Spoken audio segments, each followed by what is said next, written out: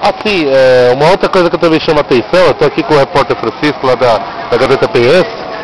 É, antigamente os trólebus, o que, que eles faziam? Aqui faziam o ponto final e daqui, descendo essa rua onde a gente vai estar no novo final, na rua Topázio, é, é a rua que ia para garagem, uma das primeiras garagens de trólebus na cidade de São Paulo.